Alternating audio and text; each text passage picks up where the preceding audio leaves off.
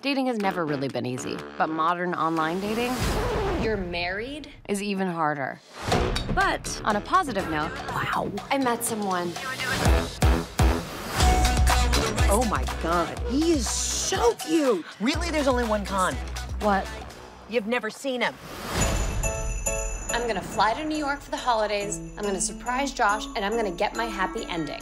Josh, someone's here to see you. As of this moment right now, my disaster dating days are over. Natalie?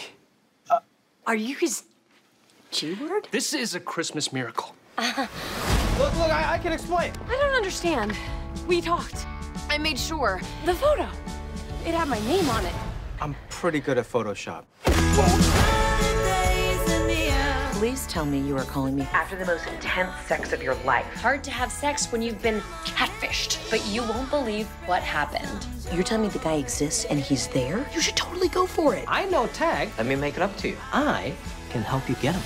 One week. No more lies. You're gonna set me up with Tag. What you need to know about Tag is he likes outdoorsy, adventurous women. You climb. Me?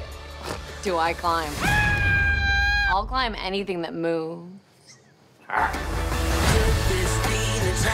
ever been bobsledding before? You didn't tell me he was Tom Cruise. Everything will be fine. Just trust me. Just the guy who catfished me. I didn't set out to catfish you. It just kind of happened. I had my profile up on the app for a year, and one of the matches I got was my old English teacher. She's 70 now, and she has a pacemaker. Having sex with her would literally kill her.